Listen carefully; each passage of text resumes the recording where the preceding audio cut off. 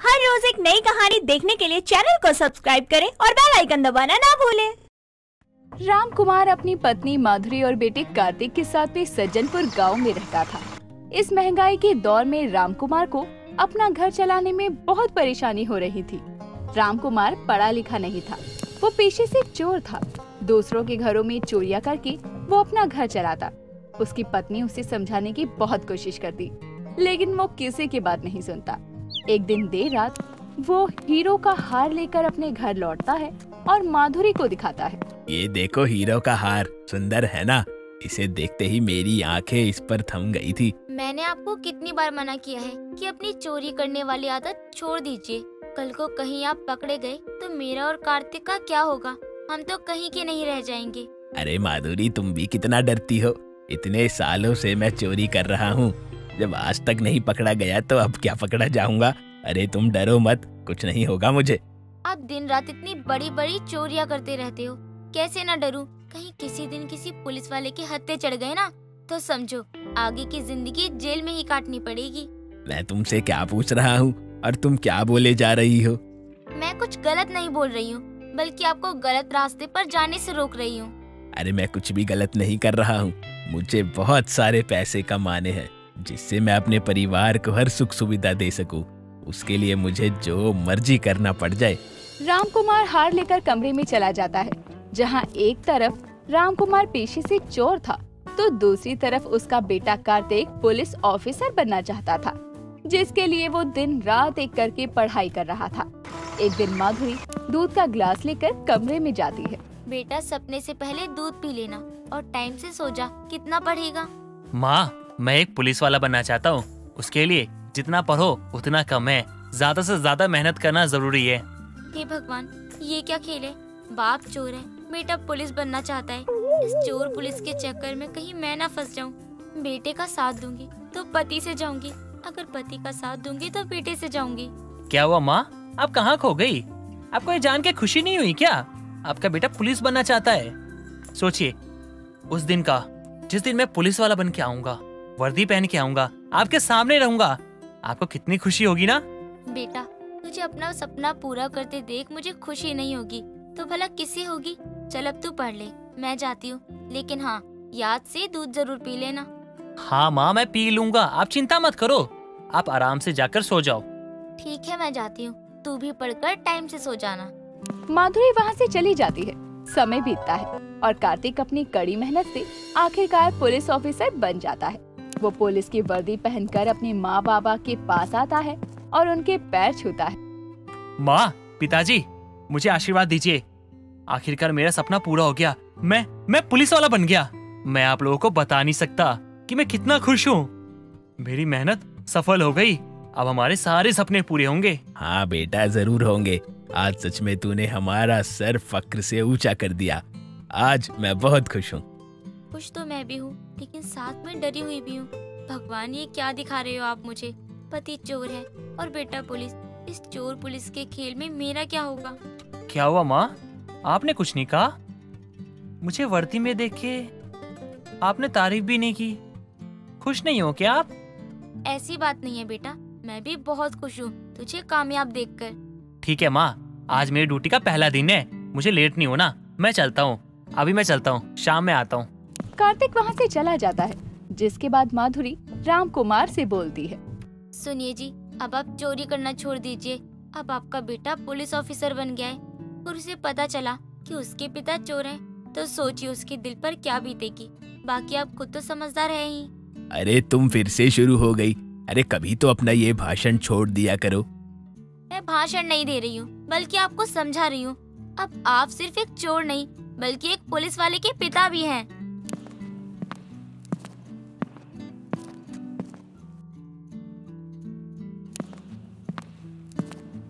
पिताजी आप यहाँ पे क्या कर रहे हो? इस पीतर की मूर्ति को चोरी करने के लिए आए थे आप? बेटा मैं तुमसे झूठ नहीं बोलूँगा। वैसे आया तो मैं ये मूर्ति चुराने था लेकिन तुझे ये बात कैसे पता? पिताजी मैं हमेशा से जानता था कि आप एक चोर हो लेकिन मुझे इस बात से ना कोई फ़र्क नहीं पड़ता था क्योंकि मुझे लगता था कि जो कुछ भी आप करते हो वो अपने बच्चे परिवार वालों के लिए करते हो। बेटा मैं वादा करता हूँ जल्दी इस आदत को छोड़ दूँगा। क्या करूँ, पुरानी आदत है ना? इतनी जल्दी तो जाएगी नहीं। पिताजी पिताजी पिताजी, मेरे भोले पिताजी, मैं ये नहीं चाहता कि आपकी आदत जाए। अरे, अभी तो मैंने वर्दी पहनी है। अभी तो कमाना शुरू भी नहीं किया। और आप अपना धंधा बंद कर रहे हो। आप एक काम करो। शाम को मूर्तियाँ ना बाहर भेजने के लिए ना गाड़ी में रखी जाएँगी। उस समय आप आइएगा और सारी मूर्ति चुरा कर जाके बेच दीजिएगा। और जो पैसे मिले दोनों बाप बेटे बांट लेंगे। बेटा तुम एक पुलिस वाले होकर मुझे चोरी करने से रोकने की जगह चोरी करने के लिए बोल रहे हो। पिताजी मैंने आपको बचपन से चोरी करते हुए देखा है और माँ को पुलिस वालों से डरते हुए देखा है इसलिए मैंने सोचा क्यों ना मैं पुलिस वाला बन जाऊँ ताकि मैं आपको बचा सकूँ। और माँ का डरना भी तो सही है लेकिन अब अब किसका डर? अब तो मैं खुद पुलिस वाला हूँ। अब आपको कोई छू भी नहीं सकता। अब हम दोनों बाप बेटे मिलके बहुत पैसा कमाएँगे। अपने बेटे से शय पाकर रामकुमार, जिसने चोरियाँ करने छोड़ने का फैसला कर लिया था, वो फिर से चोरियाँ करना शुरू कर देता है। वो रात के अंधेरे में गाँव वालों के घर में चोरियाँ किया करता और उसका बेटा दिन में उन चोरियों को संभाल लेता। दोनों बाप बेटे मिलकर गाँव में चोर पुलिस का खेल खेल रहे थे, जिसकी भनक किसी को नहीं थी। जब भी कार्तिक के पास कोई रिपोर्ट लिखवाने आता तो वो कोई कार्यवाही ही नहीं करता। गाँव के लोग बहुत परेशान थे। उसी गाँव में एक जनको नाम का चालाक और बुद्धिमान आदमी था, जो काफ़ी समय से कार्तिक और राम कुमार पर नज़र रखे हुए था। एक दिन वो दोनों को चोरी करते हुए देख लेता है। अच्छा तो ये माजरा है। ये दोनों बाप बेटा मिलकर चोर पुलिस का खेल खेल रहे हैं और गाँव वालों को पागल बना रहे हैं। इन्हें तो मज़ा चखाना ही पड़ेगा। इंस्पेक्टर साहब को मेरा नमस्कार। मेरा नाम जनकू है। मुझे आपसे बहुत ज़रूरी बात करनी है। हाँ बोलो। क्या बात करनी है? मुझे खबर मिली है कि गाँव के जंगल में जो गुफा है उसमें डाकुओं ने बहुत सारा धन और खजाना छुपा कर रखा है। अगर वो हमें मिल जाए तो तो मज़ा आ जाएगा। लेकिन ये ये तो चोरी करना हुआ। हम कौन सा किसी की मेहनत की कमाई लूटने जा रहे हैं? वो लोग भी तो एक डाकू हैं। सुनने में तो यह आया कि डाकू अब उस गुफा में नहीं है। लेकिन डर तो लगता ही है ना। अगर आप जैसा कोई दमदार साथी मेरे साथ जाए तो मैं खुद चला जाऊँ। इसमें मेरा क्या फ़ायदा? अगर आप मेरी मदद करेंगे तो मैं उस धन का बंटवारा करने के लिए तैयार हूँ। जनकू की बात सुनकर कार्तिक खुश हो जाता है और उसकी मदद करने को तैयार हो जाता है जिसके बाद रामकुमार के पास वो जाते हैं और उसे सब कुछ बताते हैं और रात होते ही सभी गुफा की तरफ़ निकल जाते हैं। जैसे ही कार्तिक और रामकुमार गुफा के अंदर घुसते हैं जनकू एक बड़े से पत्थर से गुफा का रास्ता बंद कर देता है और वहाँ से चला जाता है। दोनों गुफा के अंदर भूखे प्यासे तड़प रहे थे। जनकू दो दिन बाद आकर वो पत्थर हटाता है। दोनों बहुत ही कमज़ोर हालत में बाहर निकलते हैं। तुमने ये ठीक नहीं किया। क्यों? मैंने ऐसा क्या किया? तुमने हमें धोखा दिया है। अब देखो मैं तुम्हारे साथ क्या करता हूँ? मैंने आपको धोखा नहीं दिया बल्कि आपने और आपके बेटे ने मिलकर गाँव वालों को धोखा दिया है और उन्हें लूट रहे हो। आप लोगों को थोड़े दिन क्या तकलीफ़ में रहना पड़ा? आप लोग परेशान हो गए। जरा सोचिए, जिनकी मेहनत की कमाई आप दोनों लूट रहे हो, वो कितना परेशान हो रहे होंगे? जनकू की बात कार्तिक और रामकुमार को समझ में आ जाती है। दोनों जनकू से अपनी गलती सुधारने का वादा करती हैं, जिसके बाद रामकुमार अपनी काबिलियत के हिसाब से काम ढूंढकर मेहनत से कमाई करना शुरू कर देता है और कार्तिक भी चालबाजी छोड़कर अपनी ड्यूटी ईमानदारी से निभाने लगता है। चांदनी अपने माता पिता के जाने के बाद अपने चाचा जी वीर सिंह के साथ रहा करती। चांदनी के चाचा जी बहुत ही गुस्से वाले थे, जिसके चलते चांदनी उससे ज़्यादा बात नहीं करती थी। वो जो भी बोलते थे, उसे चुपचाप मान लिया करती। एक दिन वो छत पर कपड़े धो रही थी कि तभी उसके बगल की छत से एक अशोक नाम का लड़का कूद कर उसकी छत पर आता है। तुम पागल हो क्या? जाओ यहाँ से। अगर किसी ने हमें साथ देख लिया तो तूफ़ान आ जाएगा। और अगर चाचा जी को पता चल गया तो मेरी मौत। किसकी इतनी हिम्मत हो गई? कि तुम्हें हाथ लगाए? अरे तुमसे पहले उसे ना मुझसे बात करनी होगी। ये फिल्मी डायलॉग किसी और को जाकर मारो। मुझे नहीं मैं तुम्हारी झांसे में नहीं आने वाली हूँ। अगर ऐसी बात है तो बोल दो कि तुम मुझसे प्यार नहीं करती। क्यों बोल दूँ? मुझे ये फालतू बातें नहीं करनी। तुम जाओ यहाँ से। हाँ हाँ ठीक है जा रहा हूँ मैं। वैसे भी अब एक महीने के लिए ऑफ़िस के काम से बाहर जाने वाला हूँ। अब तुम्हें कोई परेशान भी नहीं करेगा। कहाँ जा रहे हो तुम? और कब आओगे? जब तुम मुझसे प्यार नहीं करती तो मुझसे क्यों पूछ रही हो? जब मेरा काम खत्म हो जाएगा तो आ जाऊँगा। अशोक और चांदनी एक दूसरे से बातें कर रहे थे कि तभी वीर सिंह घर आता है और हॉल में बैठकर चांदनी को आवाज़ देने लगता है। चांदनी कहाँ हो तुम? जल्दी से मेरे लिए एक गिलास पानी लेकर आओ। चांदनी! जी चाचा जी अभी आती हूँ। छत पर कपड़े धो रही हूँ। देखो चाचा जी आ गए हैं। वो कभी भी ऊपर आ सकते हैं। तुम जाओ जल्दी से। ठीक है चला जाऊँगा। लेकिन पहले तुम ये बताओ मुझसे प्यार करती हो ना? हाँ हाँ ठीक है मैं भी तुमसे बहुत प्यार करती हूँ लेकिन अब भगवान के लिए तुम यहाँ से जाओ। आज तुम्हें कपड़े धोने में कुछ ज़्यादा ही समय लग गया। कोई और भी था क्या तुम्हारे साथ छत पर? ना ना नहीं चाचा जी मैं तो अकेले ही हूँ छत पर। और धुल गए मेरे कपड़े मैं तो अभी इन्हें धूप में डाल कर आती हूँ हाँ? ठीक है ठीक है जल्दी आओ। मुझे तुमसे कुछ ज़रूरी बात करनी है। जी आप चलिए मैं आती हूँ। वीर सिंह वहाँ से चला जाता है। थोड़ी देर बाद चांदनी भी नीचे आती है। जी चाचा जी कहिए आपको क्या बात करनी थी? मैंने तुम्हारी शादी के लिए एक लड़का पसंद किया है। वो लोग तुम्हें कल देखने आने वाले हैं। तुम्हें जो भी तैयारी करनी है कर लेना और मेरे से पैसे ले लेना। चाचा जी शा, शादी वो भी इतनी जल्दी मैं तो अभी पढ़ना चाहती हूँ। अभी तो मेरे कॉलेज का दूसरा ही साल चल रहा है। मुझे मेरी पढ़ाई भी तो पूरी करनी है। मैंने तुमसे तुम्हारी राय नहीं मांगी है अपना फैसला सुनाया है। वीर सिंह इतना कहकर वहाँ से चला जाता है। चांदनी अपनी शादी की बात सुनकर रोने लगती है। तभी उसकी सहेली गीता का फ़ोन आता है। चांदनी उसे सारी बातें बताती है जिसे सुनकर गीता बोलती है। देख चांदनी अभी भी समय है तू एक बार अपने चाचा जी को अपने और अशोक के रिश्ते के बारे में बता दे। बेचारा कितने सालों से तेरा इंतज़ार कर रहा है। तुझे उसे अच्छा लड़का नहीं मिलेगा। तू क्या चाहती है? जैसे शादी से प्यार के लिए तरस रही है वैसे ही शादी के बाद भी तरसे। गीता मेरे लिए मेरे चाचा जी की पगड़ी की शान से बढ़कर प्यारी कोई चीज़ नहीं है। मेरी खुशी भी नहीं। मैं उन्हें कैसे भी करके दुखी नहीं कर सकती। उन्होंने मेरे लिए बहुत कुछ किया है। ठीक है तो फिर कर अपनी ज़िंदगी बर्बाद तू। मैं भी तेरी कोई मदद नहीं कर पाऊँगी। गीता फ़ोन रख देती है। और चांदनी भी अपनी शादी को अपनी किस्मत समझकर चुपचाप बैठ जाती है। अगले दिन लड़के वाले उसके घर आते हैं और चांदनी सबके सामने अपनी पढ़ाई पूरी करने की बात रखती है जिस पर लड़का अमित कहता है। बस इतनी सी बात? आप चिंता मत करिए मैं आपका एडमिशन बेस्ट कॉलेज में करवाऊँगा। आप जितना चाहे पढ़ सकती हैं। जी ठीक है। फिर मुझे इस शादी से कोई परेशानी नहीं है। मतलब पहले आपको शादी से परेशानी थी? अगर हम आपको पढ़ाने से मना कर देते तो आप शादी नहीं करती। नहीं अमित बेटा ये तुम कैसी बातें कर रहे हो? हमारी ज़ुबान हमारी पगड़ी से जुड़ी है और हम अपना सर कटवा सकते हैं लेकिन अपनी पगड़ी की शान कम नहीं होने दे सकते। इस शादी को कोई नहीं रोक सकता। वीर सिंह की बात सुनकर जहाँ एक तरफ़ लड़के वाले खुश थे तो वहीं चांदनी दुखी थी लेकिन अपने चाचा जी की पगड़ी की शान के चलते वो कुछ नहीं बोल पाती। समय बीतता है। चांदनी की शादी की तैयारियाँ जोरों शोरों से हो रही थी। तभी घर लौटते समय अशोक की मुलाकात अमित से होती है जो कि बीच रास्ते में दारू पीकर लड़कियाँ छेड़ रहा था। तभी वो उसके पास जाता है। ये क्या बदतमीजी है? इन दोनों लड़कियों को जाने दो वरना अच्छा नहीं होगा। क्यों ये लड़की तुझे तेरी बहन लगती है क्या जो इनके छेड़ने पे तुझे मिर्ची लग रही है? हाँ लगती है यही समझो। इस तरह से लड़कियों को छेड़ना अपराध है।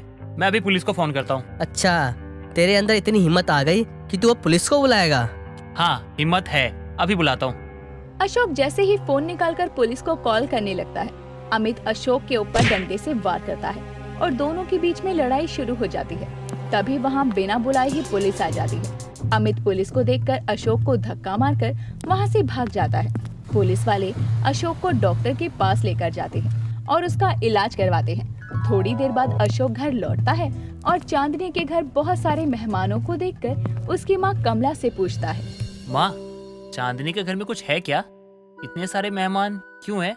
बेटा हमारी चांदनी की शादी तय हो गई है। बस उसी की तैयारी चल रही है। माँ आप ये क्या कह रही हो? ऐसा कैसे हो सकता है? क्या चांदनी ने शादी के लिए हाँ कही? बेटा तू भी कैसी बात करता है? चांदनी ने हाँ ही की होगी तभी तो शादी की तैयारी हो रही है। माँ आप भी जानती हो कि अंकल जी कैसे हैं और वो कैसा बर्ताव करते चांदनी के साथ। अरे आपको लगता है? उन्होंने एक बार भी पूछा होगा उससे कि उसके मन में क्या है। बेटा बात तो तू सही कह रहा है लेकिन ये उसके घर का मामला है। हम कुछ नहीं कह सकते। कमला इतना कहकर वहाँ से चली जाती है। अशोक जैसे तैसे करके चांदनी से मिलने के लिए उसके घर जाता है और चांदनी उसे देखकर हैरान रह जाती है। प्यार मुझसे और शादी किसी और से? कभी तो अपने लिए सोच लिया करो। खुश रह पाओगी शादी के बाद तुम? नहीं रह पाऊँगी जानती हूँ। लेकिन मैं इस शादी से मना करके अपने चाचा जी की पगड़ी बीच समाज में नहीं उछाल सकती। फिर चाहे उसके लिए मुझे कुछ भी करना पड़े। तुम उन्हें चाहे पिता ही क्यों ना मानो लेकिन वो वो तुम्हें बेटी नहीं मानते। उन्होंने तुम्हें एक अनाथ समझ के पाला है वरना तुम्हारे साथ ऐसा नहीं करते। ये लड़का कौन है? किसकी फ़ोटो है ये? इसी के साथ मेरी शादी होने वाली है। नहीं नहीं नहीं ऐसा नहीं होना चाहिए। ये लड़का बिल्कुल अच्छा नहीं है ये शराबी अयाश है। मैं इसे आज ही मिलके आ रहा हूँ। बस करो अशोक इस बार तुम्हारा झूठ काम नहीं आएगा। इस बार मेरी शादी कोई नहीं रोक पाएगा। मेरे लिए मेरे चाचा जी की पगड़ी की शान ही सब कुछ है। देखो तुम्हें मुझसे शादी नहीं करनी कोई बात नहीं ठीक है लेकिन इससे भी मत करो ये सही नहीं है। माना मेरे चाचा जी मुझे कोई खास पसंद नहीं करते लेकिन वो इतने बेकार लड़के से मेरी शादी नहीं करवाएँगे। ये लड़का उन्होंने कुछ सोच समझ कर ही पसंद किया होगा। तुम्हें मेरी कसम है तुम इस शादी को रोकने की कोशिश नहीं करोगे। चांदनी अशोक को अपनी कसम देकर कुछ भी करने से रोक लेती है। उन दोनों की बातें वीर सिंह दरवाजे के पास खड़ा सुन रहा था। लेकिन वो अपने फैसले पर कोई सोच विचार नहीं करता। शादी का दिन आ जाता है। चांदनी दुल्हन बनकर स्टेज पर जाने के लिए तैयार होती है। तभी वीर सिंह अमित को फ़ोन पर बातें करता सुन लेता है। एक बार ये शादी हो जाए और मैं इसे लेकर देश से बाहर चला जाऊँ फिर पढ़ाई छोड़ो। ये घर से भी बाहर नहीं निकल पाएगी। सिर्फ़ घर का काम करेगी नौकरानी बनकर। मैं शादी करके बीवी नहीं नौकरानी ला रहा हूँ। बाकी रहूँगा तो मैं तुम्हारे साथ ही। अमित की बातें सुनकर वीर सिंह को यकीन हो जाता है। अशोक सच बोल रहा था और वो बाहर जाकर सबके सामने कहता है। ये शादी नहीं हो सकती। आप सभी घर जा सकते हैं। आप ये क्या बोल रहे हो? वही जो सच है। तुम्हारा असली चेहरा मेरे सामने आ गया है। तुमसे शादी करवा के अपनी बेटी की ज़िंदगी बर्बाद नहीं कर सकता मैं। मैंने तुम्हारी सारी बातें सुन ली थी। वीर सिंह अमित और उसके परिवार वालों को धक्के मारकर वहाँ से निकाल देता है और शादी तोड़ देता है। साथ ही चांदनी से उसकी ज़बरदस्ती शादी करवाने के लिए माफ़ी माँगता है। इस तरह से चांदनी की ज़िंदगी भी खराब होने से बच जाती है और उसके चाचा जी की पगड़ी पर भी कोई आँच नहीं आती। गणपत गाँव का बहुत जाना माना पंडित था। गाँव के लोग उस पर बहुत विश्वास करते थे।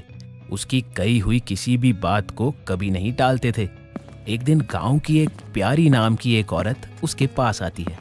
पंडित जी मेरी मदद कीजिए मैं बहुत परेशान हूँ। आपके सिवा मेरी कोई मदद नहीं कर सकता है। बताओ तुम्हें क्या परेशानी है? और मैं किस तरह से तुम्हारी मदद कर सकता हूँ? पंडित जी मैं अपने पति से बहुत परेशान हूँ। वो मेरी बिल्कुल भी नहीं सुनते हैं। आप कुछ ऐसा करिए कि वो मेरी सुनने लगे और अपने माँ बाप को मुड़ कर ना देखे। लेकिन ये तो गलत है। मैं ऐसा नहीं कर सकता। अरे पंडित जी आप भी क्या सही और गलत के चक्कर में पड़े हुए हैं।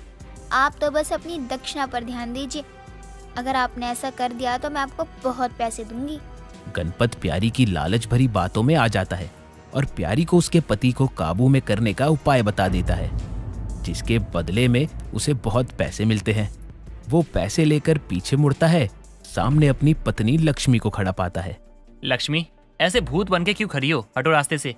सुनिए जी आप ये सही नहीं कर रहे। एक पंडित होकर किसी का घर बर्बाद करना अपनी शिक्षा का गलत प्रयोग करना अच्छी बात नहीं। अपना नाम लक्ष्मी रखने से घर में कोई लक्ष्मी आ नहीं जाती है। उसके लिए दिमाग लगाना पड़ता है। और मैं उस औरत का घर बसा रहा हूँ बिगाड़ नहीं रहा हूँ। आप बिगाड़ ही रहे हैं। आप नहीं जानते वो औरत कितनी तेज है। वो अपने पति को अपने कब्जे में करके एक बूढ़े सास ससुर को घर से बाहर निकालना चाहती है। वो कुछ भी करे हमें उससे क्या? हमें तो धन से मतलब है। धन चाहिए हमें बस। हे भगवान कैसा पति दिया है आपने मुझे। जब देखो पैसों के पीछे ही भागता रहता है। कुछ दिनों बाद लक्ष्मी अपने मायके जाने के लिए तैयार हो रही होती है। तभी गाँव की चंपा मणिहारण वहाँ आती है। कहाँ हो दीदी? चूड़िया ले लो, कांच की हरी हरी चूड़िया। दीदी, हरी चूड़िया ले लो, हरी चूड़िया। आज सुबह से बोनी नहीं हुई है, घर में कुछ खाने को भी नहीं है। अच्छा हुआ तुम आ गई, क्योंकि मैं खुद तुम्हारे पास आने वाली थी। क्यों दीदी, कोई काम था क्या आपको? हाँ काम था, लेकिन ये बात तुझे सिर्फ़ अपने तक ही रखनी होगी। बहुत विश्वास करके मैं तुझे ये काम बता रही हूँ। अगर तूने मेरे ये काम कर दिया ना तो मैं तुझे रोज के सौ रुपए दूँगी। अरे दीदी ऐसा भी क्या काम है, जिसके लिए आप मुझे रोज के सौ रुपए देने के लिए तैयार हो? मैं आज मायके जाने वाली हूँ। मुझे पता लगा है कि मेरे मायके जाते ही मेरे पति बहुत सारा सामान लेकर कहीं चले जाते हैं। मुझे पता करना है कि वो कहाँ जाते हैं। कहीं उनका कोई और चक्कर तो नहीं चल रहा। हाय दीदी आप अपने ही पति की जासूसी कर रही हो। और अगर कहीं सच में आपके पति का चक्कर चल रहा होगा तो बिना बात के आपका घर टूट जाएगा और इल्ज़ाम मुझ पर लगेगा। ना बाबा, ना। ये सब मुझसे नहीं होगा। आप खुद ये काम क्यों नहीं करती?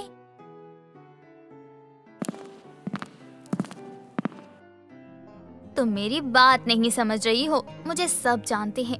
इसलिए मैं ये काम तुम्हें करने को कह रही हूँ। मुझे अपने पति की सच्चाई जानना ज़रूरी है। एक बार का हो तो मैं शक ना भी करूँ, लेकिन हर बार मेरे जाते ही वो कहाँ जाते हैं? मेरे लिए जानना ज़रूरी है। इस काम के बदले में पाँच सौ नहीं बल्कि हज़ार भी देने को तैयार हूँ मैं। ये काम करने में वैसे कोई बुराई तो नहीं है रोज की कमाई भी अच्छी हो जाएगी। ठीक है मैं ये काम करने को तैयार हूँ। चंपा वहाँ से चली जाती है। थोड़ी देर बाद गणपत हाथों में साड़ी लेकर लक्ष्मी के पास आता है। ये देखो तुम्हारे लिए कितनी सुंदर सुंदर साड़ियाँ लेकर आया हूँ मैं। इसे भी अपने साथ लेके जाना। ठीक है ले जाऊँगी। मुझे लग रहा है आपको मेरे मायके जाने की बहुत खुशी है इसलिए नई साड़ियाँ लेकर आए हो। तुम औरतों का कुछ समझ नहीं आता मुझे। अरे तुम्हें तोहफा दो तो तुम ताना देती हो। ना दो तो भी ताना देती हो। रहने दो मत ले जाओ। नहीं मैं ले जाऊँगी। आप गुस्सा मत करिए। कुछ देर बाद गणपत लक्ष्मी को लेकर स्टेशन जाता है। और उसे ट्रेन में बिठाकर अपने घर लौट आता है। अगले दिन अपना सामान पैक करके घर में ताला लगाकर दूसरे गाँव की ओर चला जाता है। दूसरी तरफ़ चंपा भी उसका पीछा करते हुए उसके पीछे चल देती है। गणपत गाँव के चौराहे से रिक्शा लेकर निकल जाता है। उसका पीछा करते हुए चंपा देखती है कि गणपत दूसरे गाँव के एक जंगल में जाता है और एक झोपड़ी में घुस जाता है और कोई लड़की उसके लिए पानी लेकर आती है। गणपत उसका हाथ पकड़ लेता है। दीदी का शक तो बिल्कुल सही है। इनके पति का तो सच में चक्कर चल रहा है। उनको तो बताना ही पड़ेगा। दीदी, आपको पता है, आपका शक बिल्कुल सही है। आपके पति का चक्कर चल रहा है किसी लड़की के साथ। वह सारा सामान इस लड़की के लिए ही लाते हैं। मैंने उन्हें देते हुए देखा है। मुझे इन्हें रंगे हाथों पकड़ना है। मैं कल ही वापस आ रही हूँ। तब देखती हूँ कि ये क्या कहते हैं। गणपत को लक्ष्मी के आने की खबर मिल जाती है और वो जल्दी से अपने घर वापस आ जाता है। लक्ष्मी जब अपने घर पहुँचती है तो देखती है गणपत मंदिर में बैठा पूजा कर रहा है। आप कब आए? ये तो मुझे पूछना चाहिए तुमसे। तुम तो अपने मायके गई थी ना पूरे महीने के लिए। तो दो दिन में वापस कैसे आ गई? क्यों? मेरे आने से आपको परेशानी हो गई क्या? आ, नहीं नहीं ऐसी कोई बात नहीं है। तुम्हारा ही घर है जब तुम चाहो आ सकती हो। गणपत पूजा में व्यस्त हो जाता है। और लक्ष्मी अपने मन में कुछ सोचने लगती है।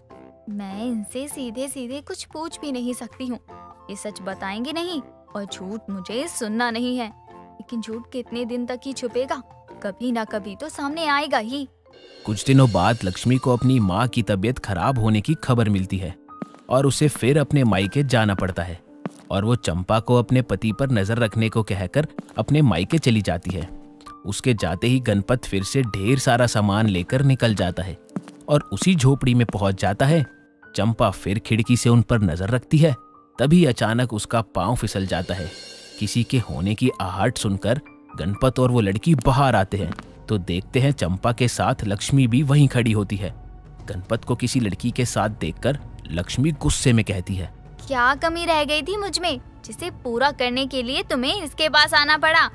अब समझ में आया कि आपको मेरे मायके जाने की इतनी जल्दी क्यों रहती थी क्योंकि इस लड़की के बिना आपसे रहा जो नहीं जा रहा था। सोच समझ के बोला करो। जैसा तुम सोच रही हो ना वैसा कुछ नहीं है। तुम पहले अपने आप को देखो। पति की जासूसी करते हुए शर्म तो आई नहीं तुम्हें? जासूसी की तभी तो सच सामने आया। आप रहिए इसी लड़की के साथ। मैं जा रही हूँ। तुम पहले मेरी बात सुनो। ये जो लड़की है ना ये मेरी बहन है। और मैं इस झोपड़ी में किससे मिलने आता हूँ? चलो देख लो खुद ही। लक्ष्मी झोपड़ी में जाती है और देखती है कि एक अंधी बुढ़िया अपनी आखिरी साँसें ले रही होती है। ये सब देखने पर गणपत उसे सच बताता है कि वो बुढ़िया कोई और नहीं बल्कि उसकी माँ है और वो लड़की उसकी बहन। ये आप क्या बोल रहे हो? आपकी माँ तो गाँव में है। हाँ हाँ वो मेरी माँ है लेकिन जन्म देने वाली माँ नहीं। जन्म देने वाली माँ ये है मेरी। अगर तुम्हें यकीन ना हो तो तुम जाके माँ से पूछ सकती हो। मुझे तुमसे ये उम्मीद नहीं थी कि तुम मुझ पे शक करोगी। आप मुझे ये पहले बता सकते थे। कैसे बताता ये सच? मुझे ये डर था। कहीं तुम मुझे गलत ना समझो। तुम्हें तकलीफ़ ना हो। इसलिए जब तुम मायके जाती थी तो मैं इन लोगों से मिलने आता था। लेकिन तुमने मुझ पे शक किया। इसका बहुत दुख हुआ मुझे। सच्चाई जानने पर लक्ष्मी को बहुत बुरा लगता है कि उसने अपने पति पर शक किया। और वो अपने पति से उसकी जासूसी करने के लिए उससे माफ़ी मांगती है और उस दिन के बाद से उस पर शक करना छोड़ देती है और प्यार से अपना जीवन व्यतीत करने लगते हैं। दोस्तों, अगर आपको ये कहानी पसंद आई तो इसे लाइक करें, शेयर करें और कमेंट करके बताएँ कि कहानी में आपको सबसे अच्छा क्या लगा।